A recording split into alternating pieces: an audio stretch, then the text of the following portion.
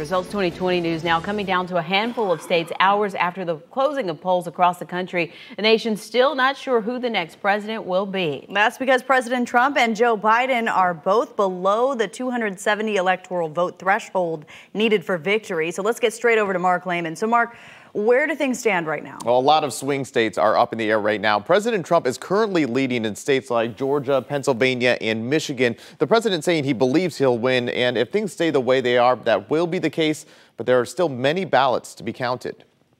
As votes are still being counted in key states that could secure the election, both presidential campaigns issued opposing messages. This is a fraud on the American public.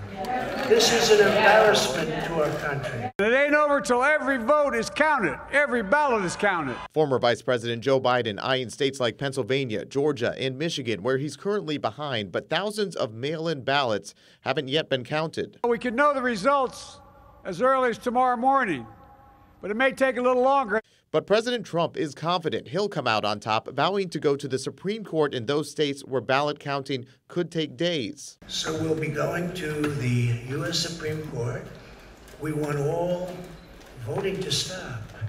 We don't want them to find any ballots at 4 o'clock in the morning and add them to the list. The counting stopping in some states overnight, signaling it could be a while longer before an official winner is declared. We will win this, and we, as far as I'm concerned, we already have. It's not my place or Donald Trump's place to declare who's won this election. That's the decision of the American people.